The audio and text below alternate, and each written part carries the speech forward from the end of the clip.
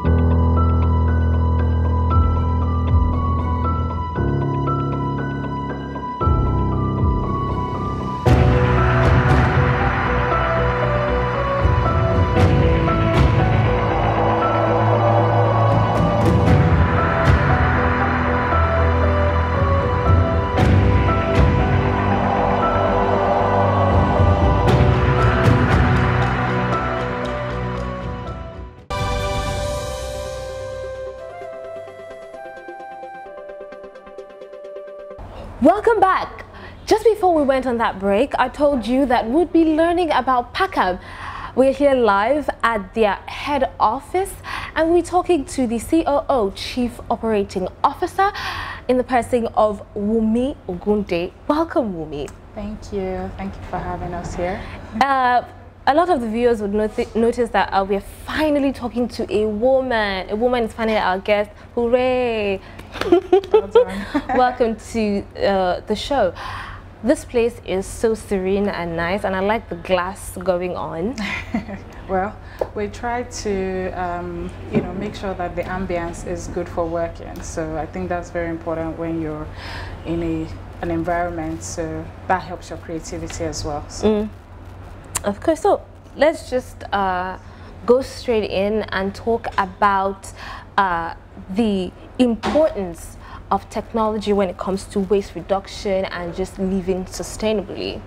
Right. Um, I think that's a very good um, place to start. I think that generally, for the longest time, um, obviously, the issue of waste management, the issue of recycling management, and anything that has to do with that has been done very informally or very manually. And of course, the introduction of technology into this space will only make us do things more efficiently and effectively. So having to do that, it's bring having Pakam on board now would actually help us to reach all those goals. So you'd look at, um, you know, LAWMA and the ministry, everyone is looking at more, a better way of doing things. And in, in the in the 20th century or 21st century that we're in now, everything is hinged around technology. So if we're not looking at technology to solve a problem, then we haven't really started doing anything. So again, effectively efficient way of managing waste, managing recyclables, managing anything that has to do with our environment is very important. Which leads me to my next question. So is there a limit to what Pakam uh, takes as recyclable or are we limitless? Can we just um, call Pakam to come and pick up just any um, type of waste?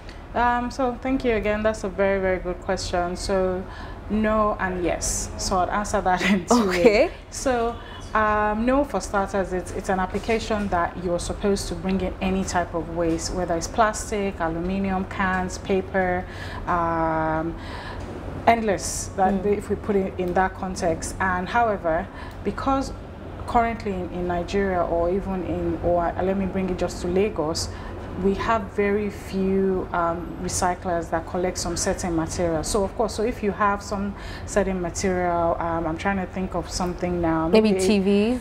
Well, uh, no, there's uh, actually electronic ways, so you can electronic. Okay, yes, for Pakam so as well. Yes, so TV can be picked up. So there's electronic ways that can be picked up. There are recyclers for that. So, but there are some very specific items. So maybe some type of plastic that we don't have someone to recycle them. So if just you call, yet. just yet, exactly. So because we have a lot of people coming into the space. So if you request for a pickup and you have maybe one of those special types of plastic, you may not find someone to pick that up for now.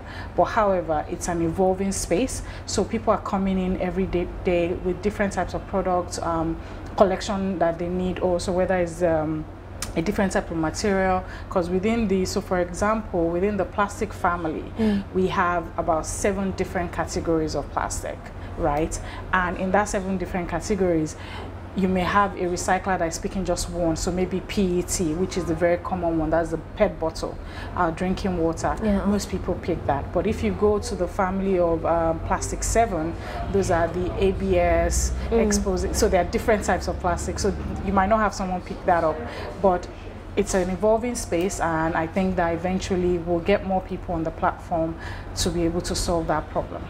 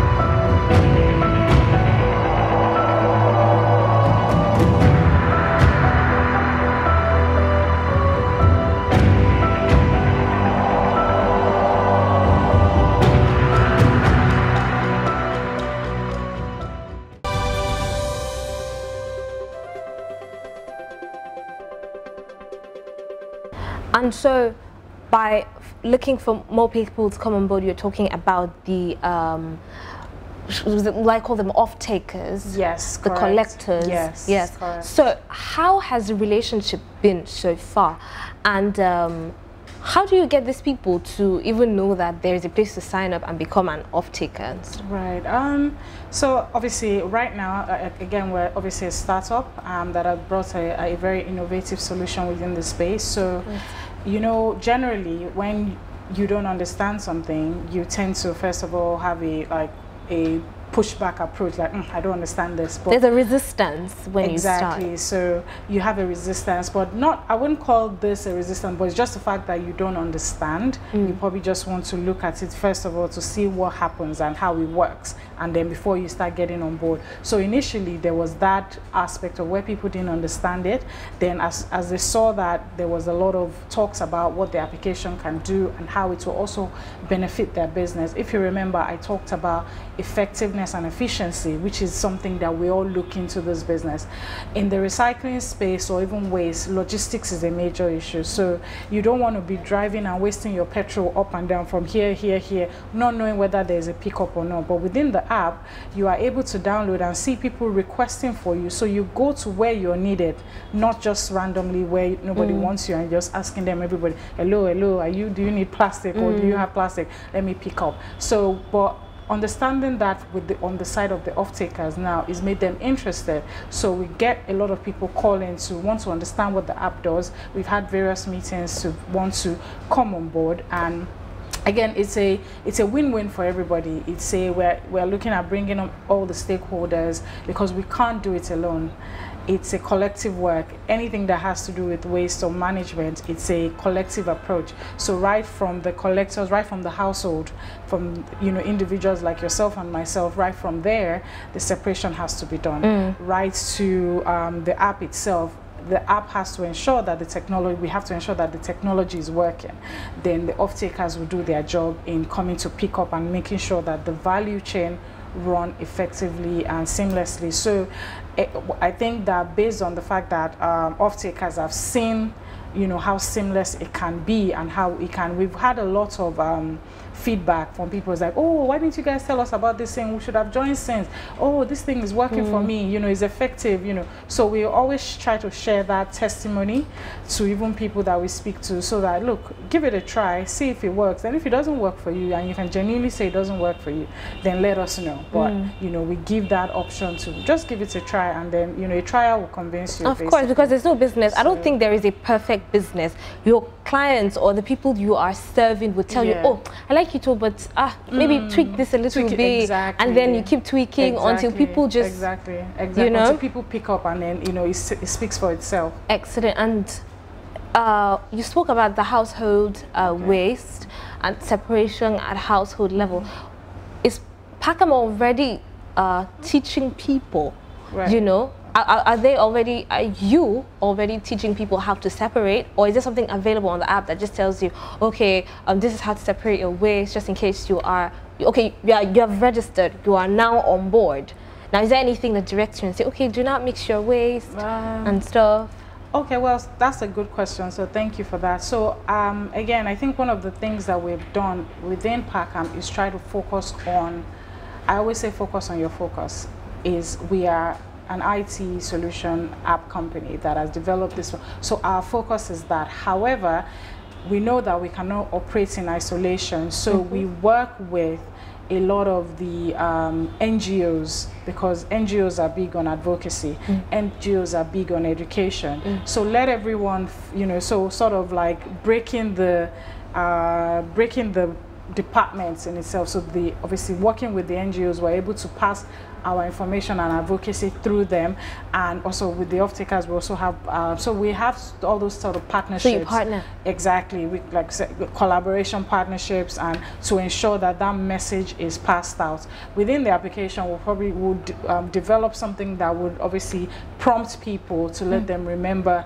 to separate because we all have to work together because even off takers that want to go and pick up, they would want the waste separated. Of course, say, oh, it makes the job plastic, easier. This is this, and makes the job easier, mm. and that's what we're looking for. So, well, right now we do a lot of partnership with people within the space that are existing, and luckily we've had a good. Um, communication strategy even with LAWMA if you look I don't know if you've been seeing some videos online even on their page mm -hmm. talking about advocacy with uh, Pakam, and trying to enlighten people. And so a lot of even that has been going on, even with the um, Lagos State Waste Management Authority. So it's been a good it's been a good run so far in terms of knowledge sharing, um, communication to households and individuals. Mm -hmm.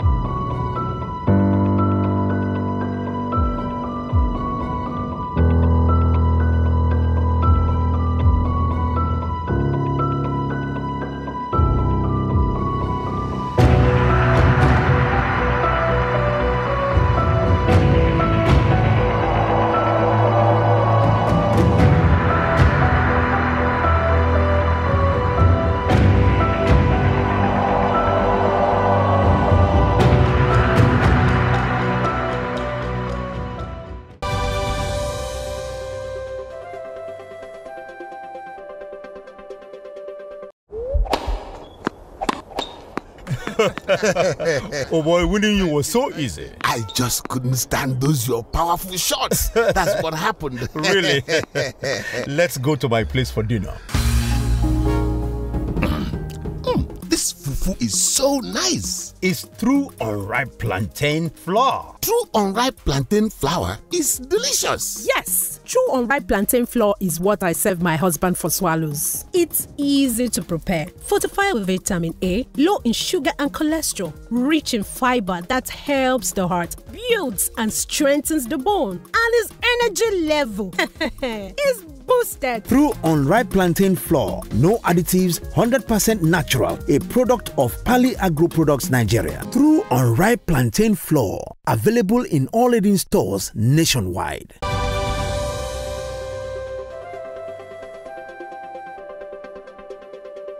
So another means uh, Pakam has made their app so um, catchy mm -hmm. is that uh, they give incentive mm -hmm. for um, taking people's wastes.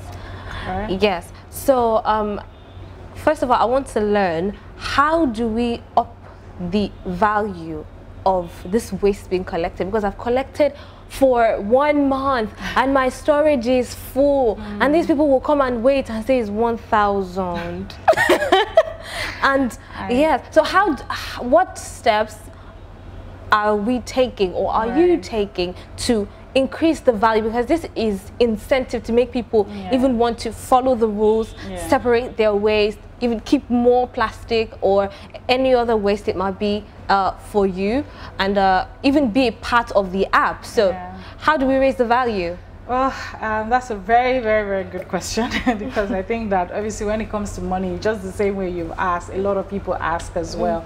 So I think that one of the things that you know we've been fortunate to have is the partnership with LAWMA because um, again some of- you know the market value of some of these things are not as high as people think they are.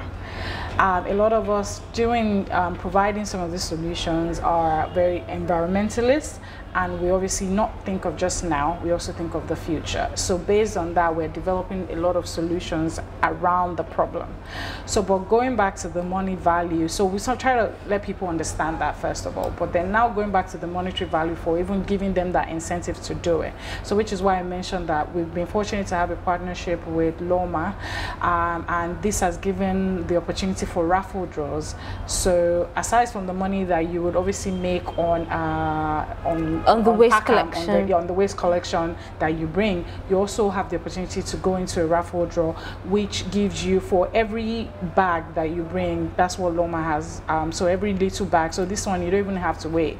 For if you have ten bags, you would enter into the raffle 10 times and you can win as much as 10,000 naira. So you just need to be part of the pool. They can pick you as many times as possible as long as you are logged in into the pool. And these raffles are things that um, they have started doing and through the app as well, which is something that we're looking forward to um, on the long run will give mo- more people incentives to come on board.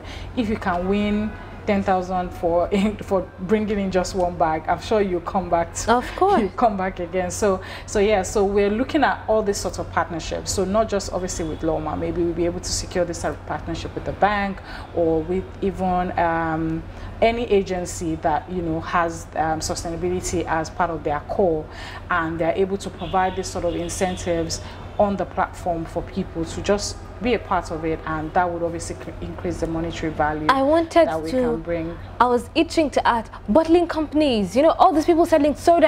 Yeah. You know, they're the ones clogging our drainage. Oh, they're not the ones, please. I didn't say so.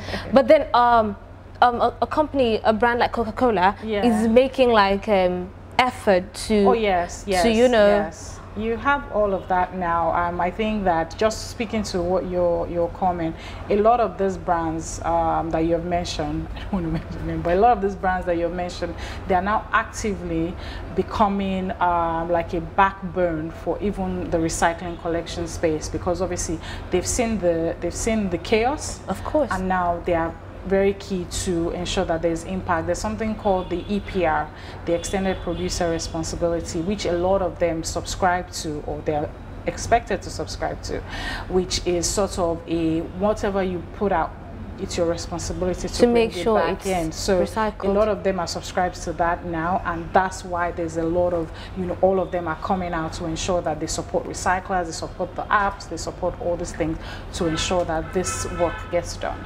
And so let, let's end it like this. What is, b- b- b- before we end it, Mm-hmm. what's in it for Pakam? As a, an establishment, I feel people do business to grow, Mm-hmm. to make money. Yes, we are saving the planet, but chiching has to come has to in, of course. So, what's in it for Pakam? Um, so I, I believe that, um, like you said, there's a lot of the a lot of us within this space. First of all, we're very passionate about what we're doing.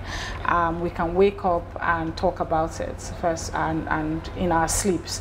so you wake any of us up, we're like, oh, come on, we say we're up and ready to go. so, but another very important thing for sustainability of even the business in itself to be able to outlive us, it has to have income. And um, is so basically some of the things that we're looking at is obviously there's um, a model of um, subscription, there's a model for commission. Um, but however, because we're also still in the space of um, getting people to come on board, we're still looking at what may work or what not, may not work. But at the moment, we are looking at both options as a way of um, um, sustaining the business. So, uh, excellent. I would like to finally ask what the goal of Pakam is as moving forward, mm-hmm. you're a startup company, you are doing well, you are getting recognition. What's the next step? Where are you taking Pakam from here?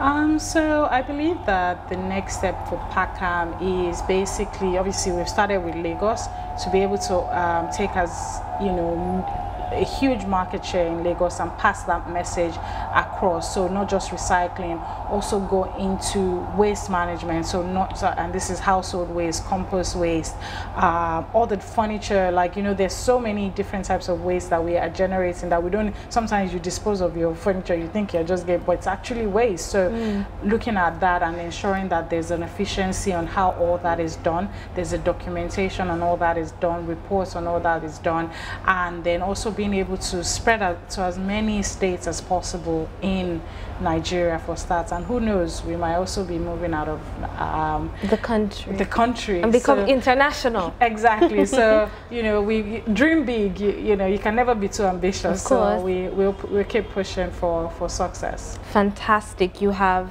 enlightened me. In fact, I love it. I probably should come and be a part of it. My You're producer is not going. My producer is giving me stares. uh, wonderful, wonderful. Thank you so much for coming on the show. Thank it's you. been it's been amazing. Thank you.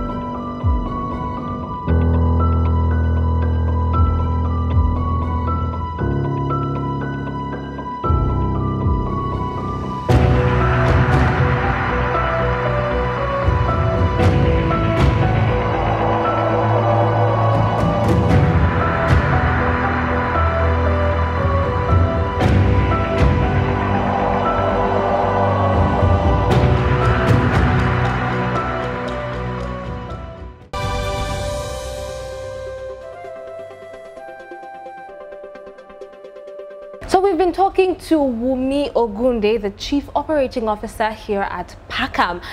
I hope you've learned one or two things. This is why you should be tuned in to Mother Earth. Make sure to take up social responsibility just as we teach and preach here on the show. My name is Success Caminus. Make sure to follow iBrand TV on all social media platforms.